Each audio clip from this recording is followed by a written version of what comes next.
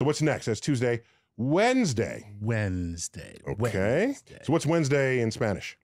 Mercoles. Miércoles, right? Which would be Mercury. Right. So Mercury is Oh, where did you go? Mercury. is the god of what?